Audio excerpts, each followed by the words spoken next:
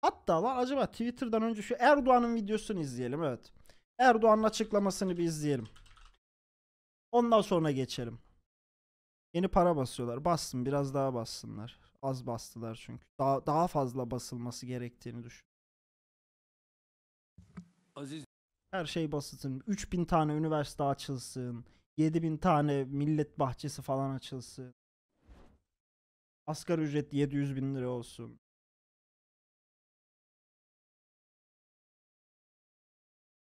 İsmail Esen 5 euro 5 pound göndermiş. Çok teşekkür ederim. Bu arada yurt dışında olup bana destek olan izleyicilerime çok teşekkür ederim.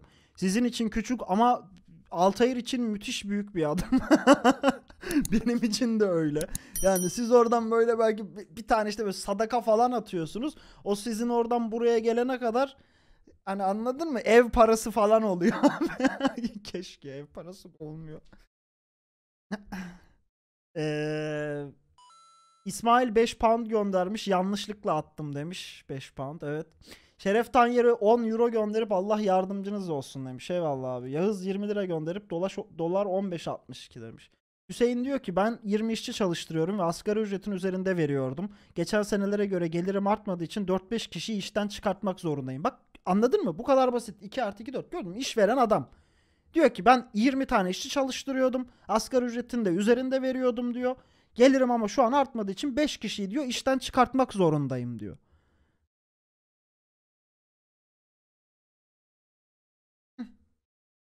Şimdi bakalım Erdoğan bu zammı nasıl açıkladı ondan sonra üzerine konuşalım. Sayın milletin Cumhurbaşkanımız Recep Tayyip Erdoğan. işçi ve işveren temsilcileri, kıymetli basın mensupları, sizlere en kalbi duygularımla, muhabbetle selamlıyorum. Bilindiği gibi bir sonraki yılın asgari ücreti her yılın Aralık ayında Çalışma ve Sosyal Güvenlik Bakanlığımızın nezaretinde çalışan ve işveren kesimlerinin iştirakiyle belirlenmektedir. Nasıl bu yıl Aralık ayında başında başladıysak önümüzdeki yılın yine Aralık ayında işçi işveren bir araya gelmek suretiyle yine çalışmalarını sürdürecekler ve seçim öncesi o görüşmelerle seçime gideceğiz. Bugün gerçekleştirilen dördüncü toplantıyla da Bu arada şey gibi düşünenler de var. Aa bu AK Parti'nin seçim yatırımı işte 4200 yaptılar. Yüksek milletten oy alacaklar falan. Bunun böyle olduğunu düşünüp asgari ücret alanlar varsa 2 ay beklemesini istiyorum. Hani diyorlar ya 2 aya sistem oturacak. 2 aya şu olacak. Ben de diyorum ki 2 ay beklesin. Ocak zamları gelsin. Eline bir 4000 lira geçsin. O 4000 liraya neler alabildiğine neler alamadığına bir baksın vatandaş. Ondan sonra bakarız oy alabiliyor mu alamıyor mu. Bunu o zaman daha rahat göreceğizdir diye düşünüyorum. Nihai karar aşamasına Ya bu arada 100 bin abone olmuşuz. Sevinemedim bile. Allah razı olsun destekleyen, gelen sohbete, muhabbete katılan, benimle zaman harcayan arkadaşlardan. Ee, çok teşekkür ederim. Valla beklemiyordum. Biz ne 40 bin abone miydi neydi geldik. Yani çok müthiş bir büyüme oldu. Abi çok teşekkür ederim beni yalnız bırakmadığınız ve destek verdiğiniz için. Sağ olun. Plaket alacağım. Plaket alacağım. Ama o plaketle bir şey de yapacağım. Onu sonra söylerim 2023'ten sonra.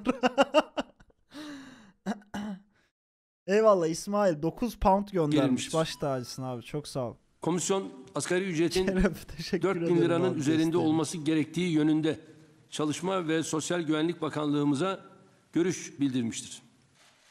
Öncelikle ben şunu ifade etmek istiyorum.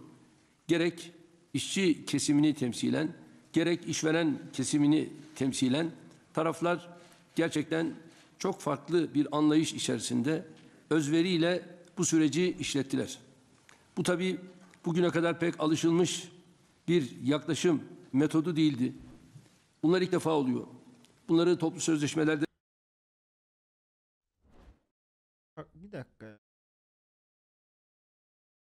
10 dolar, 20 dolar. Bir şeye bakacağım ondan sonra.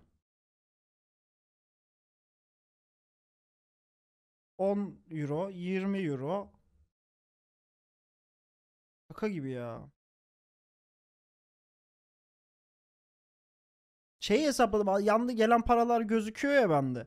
İşte böyle 10 20 10 20 atıldı ya. Ne kadar ediyor diye, diye bir hesapladım. Az önce ne kadar fakir olduğumun tekrar farkına vardım. Bu ne oğlum korkutucu lan. Böyle 10 dolar falan yazınca bana eskisi gibi böyle hani sanki böyle 50-60 lira olacakmış gibime geliyor 10 dolar. Ya teşekkür ederim tekrar desteğiniz için. Vallahi bu ne ya arkadaş. Con- Conta yandı ya. Gördük. Bundan dolayı bir cumhurbaşkanı olarak ben de gerçekten çok mutluyum. Bakanlığımız tarafından şahsıma aktarılan bu görüş çerçevesinde biz de asgari ücreti belirledik. Buna göre 2022 yılında asgari ücretin en alt rakamı 4250 lira olarak uygulanacaktır. Çalışanın evli olmasına ve çocuk sayısına göre bu rakam daha da yükselmektedir. Son 50 yılın en yüksek rakamını ifade eden yüzde asgari ücret olarak söylüyorum. Asgari ücret artışı yüzde 50 seviyesinde Bu iyi bir şey değil. İnsan yani bunu iyi bir şey gibi rek- reklam etmeye çalışıyorlar bir de. Bu iyi bir şey değil. Bizim paramızın bu kadar değer kaybetmesi iyi bir şey değil. Bu kadar zam yapılması iyi bir şey değil. Hadi yaptın zaten zam dediğim gibi bir seneyi bile kurtarmıyor da. Yani bunun böyle sanki haha %50 zam. Yıl şeyde ilk Türkiye Cumhuriyeti tarihinde ilk. Nasıl ama kızım ben başkayım falan. Bu tavırlar ne abi? Bu iyi bir şey değil ki. E millete önce bunu anlatabilmemiz lazım sanırım.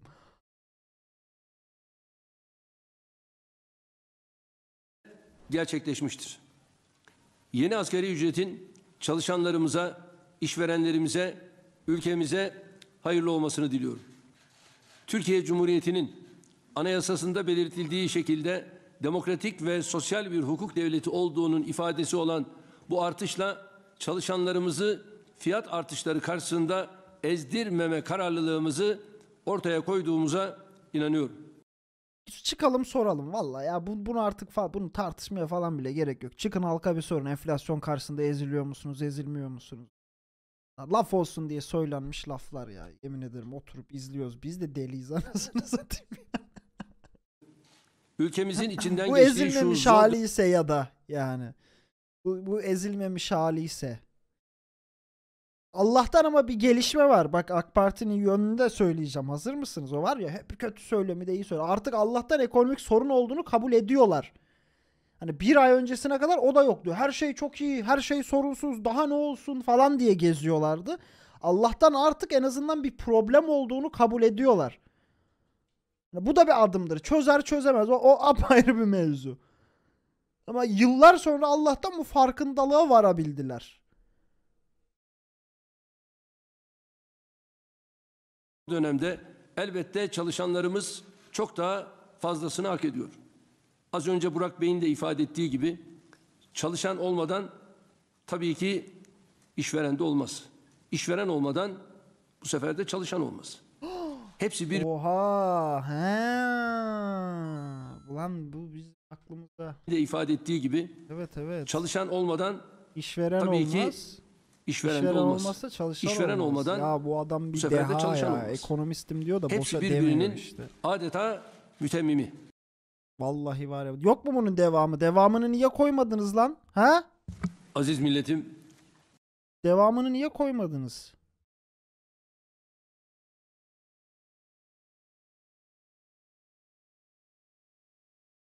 Ha bak buraya koymuşlar. Ve Sosyal Güvenlik Bakanlığımıza görüş bildirmiştir. Biz de asgari ücreti belirledik.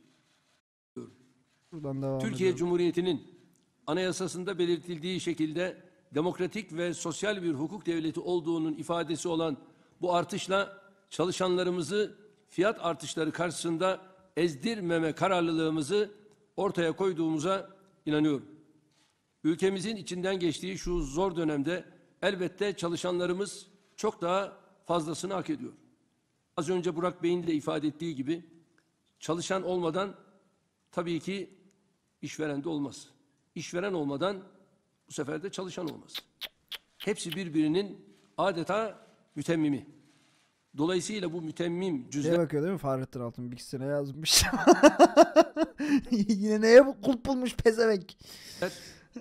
bu ülkenin kalkınması noktasında devletin Zayıflamışsın. güçlü Yemek yiyemiyorum. Uyku problemleri yaşıyorum bu ara.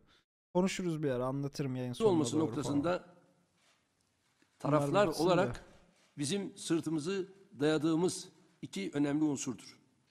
Türkiye büyüdükçe, güçlendikçe, imkanları arttıkça bundan çalışanlarımız da hak ettikleri payı alacaklardır. Tabii burada bir şeyi özellikle ifade etmek istiyorum. O da şudur. Bakın dinleyin. Kimse ne işveren üzerinden ne de çalışan işçi üzerinden herhangi bir spekülasyona girmemeli. Ve bunların da istismarı Birisi öğretmiş bir kelime. Spekülasyon, manipülasyon. Birisi bunları öğretmiş. İnsanlar ne anlama geldiğini bilmeden kullanıyorlar. Gerçekten yani bir siyasette de öyle, halkın arasında da öyle. Ne spekülasyonu abi? Ne anlatıyorsun ya? yapmamalı. Yani yok Yapmamalısınız işte arkadaşlar. geçmişte dolar şuydu ve doların olduğu dönemden hesabı dolar üzerinden yaparak şu anda da asgari ücreti tespit etmek gerekir gibi yaklaşımlar bir defa bu ülkenin şu andaki çalışan işveren bu noktadaki istismarından başka bir şey değildir. Hayır, insanların para birimlerinin değerini ölçmesidir, alım güçlerini ölçmesidir. Ne suikast, itibar suikastidir belki aynen. Ne spekülasyon, ne manipülasyon. Bunlara sormak Hemen lazım. geliyorum. Sizin geçmişinizde acaba siz Türk lirasının olduğu bu ülkede dolarla mı çalıştırıyordunuz bu insanları? Veya avroyla mı çalıştırıyordunuz bu insanları? Bu tür spekülatörlüğe gerek yok. Bizim paramız bellidir. O da Türk lirasıdır. Ve biz Türk liramızı Yani damadınızın yolundan ilerleyerek müthiş bir hata yapıyorsunuz. Yapın, yapmaya devam edin. Sandık önümüze e, geldiğinde göreceğiz. Ne üzerinden bakalım? Tamam.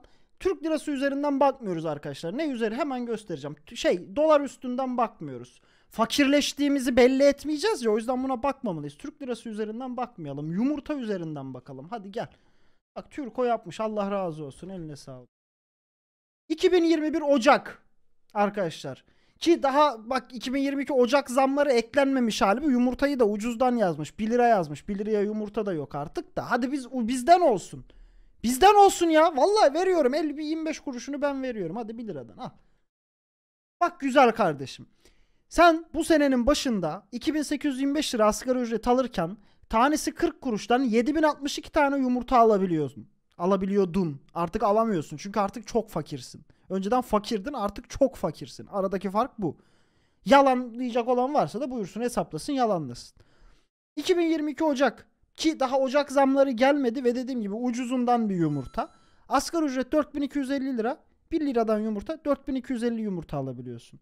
Yani artık fak fakirsin. Önceden fakirdin artık fak fakirsin. Bak dolar değil yumurta. Al süt gel. 2021 Ocak 6 liradan 2825 lira maaş alıyordun. 470 litre süt alabiliyorken fakirdin. 13,5 liradan 4250 lira maaş 314 litre süt alabiliyorsun. Artık fak fakirsin. Bak yine dolar üzerinden değil. Alım gücü. Gördün mü? Sayın Cumhurbaşkanım dolar üstünden asla bakmıyoruz. Sözünüzü dinliyor gençlik. Hiç merak etmeyin. Dolar üzerinden asla değerlendirmiyoruz. Önceden şu kadar dolardı da şimdi şu kadar dolar olmuş diye. Çünkü o daha da kötü yani. Bunlardan da kötü. Hele şöyle bir yurt dışından gelen ürünlere falan baksak neler alabiliyorsunuz neler alamıyorsunuz o hiç girmiyorum bile. Yani bunlar en hayati herkesin yediği içtiği şeyler. Al ekmek.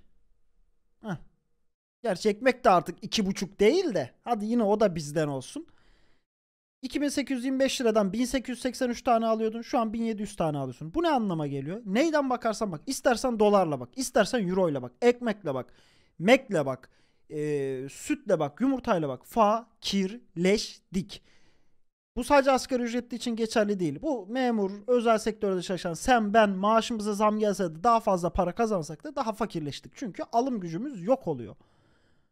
Bunu insanlara anlatmamız lazım. İnsanlar zam gelince aa müthiş abi artık ha aslında daha zenginiz falan. Psikolojik olarak sanırım böyle sanıyorlar orada büyük bir sayı görünce. Ama o iş öyle değil.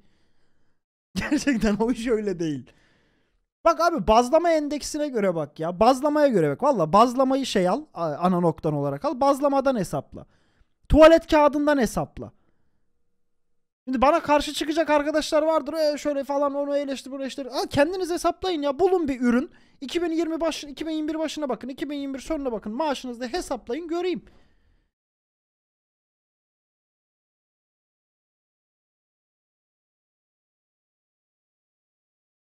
Evet Sayın Cumhurbaşkanım. Devam ediyoruz Recep Bey ile beraber. Ve şu şey anda vardı ya şimdi e, Erdoğan da çok iyi bilir onu. AK Parti'den bir milletvekili de yapıyordu. Simit hesabı simit.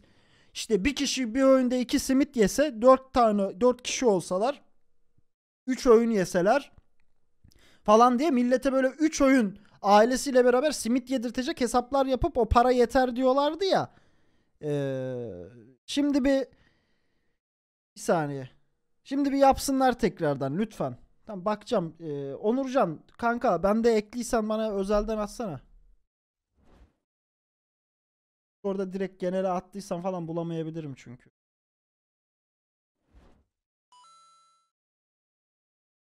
Kim link odasını? Ha tamam buldum.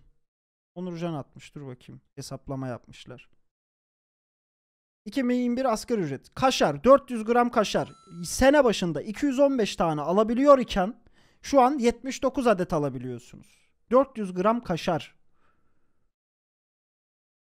Dana kıyma 46 kilo alabiliyorken yıl başında bu e, zamlı haliyle 42 kilo alabiliyorsunuz. Ki dediğim gibi yani bu ay gelecek zamlar daha bekliyor. Ocak özellikle Ocak zammı yani Allah kerim nereye doğru gideceğiz? Simit 1400 simitken 1214 simite düşmüş. 560 e, adet süt alabiliyorken 314'e düşmüş. Ped 560 ped alabiliyorken 354 pede düşmüş. 175 tane 15 yumurta alabiliyormuşsun. Şu an 135 tane alabiliyorsun. Tuvalet kağıdı 59'du 32 olmuş. Ekmek 100 1866 1214. Kaç gramlık o? Dur bakayım. 250 gram ekmek mi? 200 gram ekmek. İstediğin şeyden hesapla. Yani fak- fakirleştik. ben bu yüzden sabah bu kadar sinirlendim. Yani şöyle bir şunu attım arkadaşlar. Bakın nerede o? Asgari ücrete gelen zam ile beraber asgari ücretli vatandaş yılbaşına göre yaklaşık %40 fakirleşti. Alım gücüne göre. Ya diyorum ya altına gelmiş öyle tipler ama şu kadar zam yaptı. Hele bu muhalif gibi görünmeye çalışan ılık götlü pezevenkler var ya en çok onlara sinirleniyorum. Ya tamam he- muhalif olunur da böyle de her şey eleştirilmez ki. Ulan göt veren neyi eleştireceğim daha? Ya ben ekonomiyi eleştirmeyeceksem benim hayatımı en derinden etkileyen şeyi eleştirmeyeceksem daha neyi eleştireceğim? Ki bu bir eleştiri bile değil lan. Bu matematiksel bir bilgi. Ya sen de hesaplasan aynısını bulacağım. Ben de hesaplasam aynısını bulacağım. Dünyanın öteki ucunda da hesaplasalar aynısını bulacaklar. Ya en son sinirlendim altına bir tane attım tweet ama yani gerçekten anlatamıyoruz sanırım insanlara.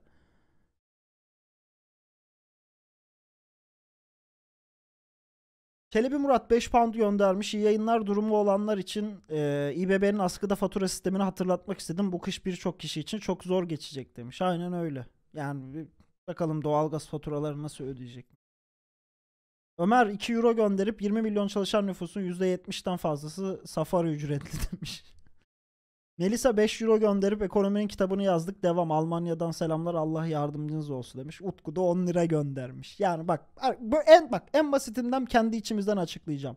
Melisa 5 euro göndermiş. Allah yardımcınız olsun. Kalp melp atmış. Yazık gariban Utku'ma bak 10 lira atmış hiçbir şey yazamamış adam. Yazamamış. Yazamamış adam. Gönderdiği para 1 dolar bile etmiyor çünkü.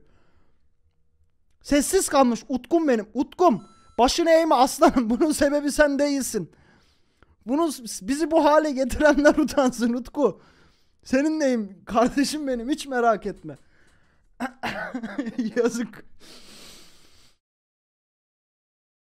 daki bazı sıkıntılar var. Bu sıkıntıları da evvelallah en kısa zamanda aşacağız. Bundan kimsenin endişesi olmasın.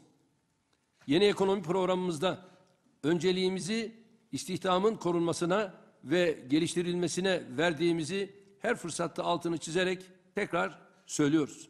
Salgın sürecinde hayata geçirdiğimiz istihdam merkezli destek politikaları sayesinde hamdolsun bu konuda herhangi bir sıkıntı yaşamadık.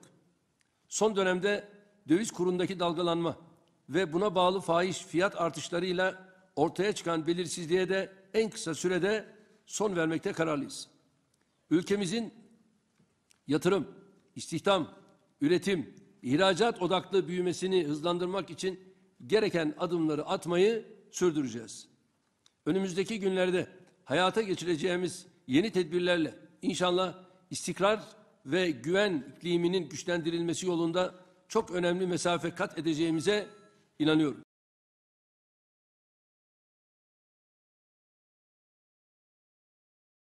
Bu sabah eee, dünyanın en ünlü ekonomi gazetelerinde Türkiye haber oldu. Şimdi güvenden bahsediliyor ya bu güven böyle mi sağlanacak merak ediyorum. Türkiye dünyanın en ünlü ekonomi gazetelerinde haberdi. Şu yüzden. İnsanlar ekmek alamıyor, fırıncılar ekmek üretemeyecek durumda diye Türkiye haber yapıldı. Ki diğer şeylerde aynı diye farklı günlerde yine Türkiye haber oluyor. Türkiye ekonomisi hakkında haberler genelde böyle oluyor. Nasıl güven verilecek? Şimdi piyasanın hali belli. Yurt içindeki durum zaten belli. Yurt dışındaki Türkiye görüşü zaten belli. Yani hani bir Birleşik Arap Emirlikleri Katar'la Matar'la görüşüyorsunuz. Belki oradan yani nasıl verilecek bu güven? Hani oradan da şey sıcak para gelirse ihtimali için üstünde duruyorlar. Bu şekilde mi güven vereceğiz? Türkiye'de insanlar ekmek alamıyor da yapamıyor da. Hadi bakalım güven. Bir piyasaya güveni pompaladık. Aziz milletim, asgari ücrette tarihi bir artışı gerçekleştirirken bunun işveren üzerindeki yükünü azaltacak adımları da ihmal etmedik. Ya ondan önce bak evet daha geçen gün söyledik. Ee, bazı finans kuruluşları Türk lirasını incelemeyi bıraktılar artık ve yatırım olarak önermiyorlar. Yatırım yapın demiyorlar Türk lirasına. Böyle mi güven verilecek? Adamlar Türkiye'yi değerlendirmeyi falan bıraktı oğlum. Adam diyor ki bizim tahminimiz yıl sonu 10'du şu an 15 diyor. Yani ne- neyin tahminini yapacağım ben diyor adam. Evet tarihi artış diyor Sayın Recep Tayyip Erdoğan da. Eksi 150 dolar tarihi Milletim. artış. Asgari ücrette Çok tarihi bir artışı ya. gerçekleştirirken Çok fazla bunun işveren üzerindeki yükünü azaltacak adımları bu da kadar ihmal zenginleşirsek ülkemiz sıkıntıya düşebilir. Bu kadar zengin olursa halk sıkıntı açabilir. Bu kadar zengin olmasak bu, bu büyük Etmedik. bir artış ya. Ülkemizde onlarca yıldır asgari ücretin vergiden muaf tutulması tartışmaları yaşanmıştır. Yeni asgari ücret düzenlemesi ile birlikte on yıllardır konuşulan işte bu özlemi de hayata geçiriyoruz. Önümüzdeki yıl başından itibaren asgari ücretten alınan gelir vergisiyle damga vergisini kaldırıyoruz. Çok sevindim buna. Ya ilk duyduğumda dedim ki aha vallahi yani dedim he- yani nokta kadar bile olsa iyi bir şeydir. Hani milletin sırtından yük de alınacaksa iyi bir şeydir vesaire diye bakıyordum ki öyle de. E, bu vergiyi kaldırdığı için AGİ'yi de kaldırmışlar asgari geçim indirimini. Onun da haberini şöyle vereyim. Eee Türk İş Genel Sekreteri Pe- e, Pevrul Kavlak asgari ücretteki vergi kesintileri kaldırıldığı için asgari geçim indirimi uygulamasının da kalktığını söyledi. Bloomberg'in aktardığına göre asgari ücretin netleştirildiği son toplantıda yer alan Pevrul Kavlak yıllardır talep ettikleri asgari ücretin vergi dışı bırakılmasının önemli bir kazanım olduğunu sadece asgari ücret değil tüm ücretlerden 12 aylık brüt ücrete kadar kısmı gelir vergisinden muaf tutulacağını kaydetti. Tüm çalışanların yıllık brüt e, asgari ücretinin 12 katına kadarki gelirinin vergiden muafiyeti önemli bir kazanım oldu dedi. Vergi muafiyeti sağlayacak söz konusu değişiklikler için yasal düzenleme yapılması gerekiyor. Asgari geçim indirimi gelir vergisinden düşülen tutarı ifade ediyor. Yapılacak düzenleme ile tüm işçilerin asgari ücret düzeyine kadar olan gelirlerinden gelir vergisi tamamen kaldırılıyor. Yani şey dedim hani bir iyilik yapmışlardır belki dedim ama bu haberi duyan anneannem bayıldı.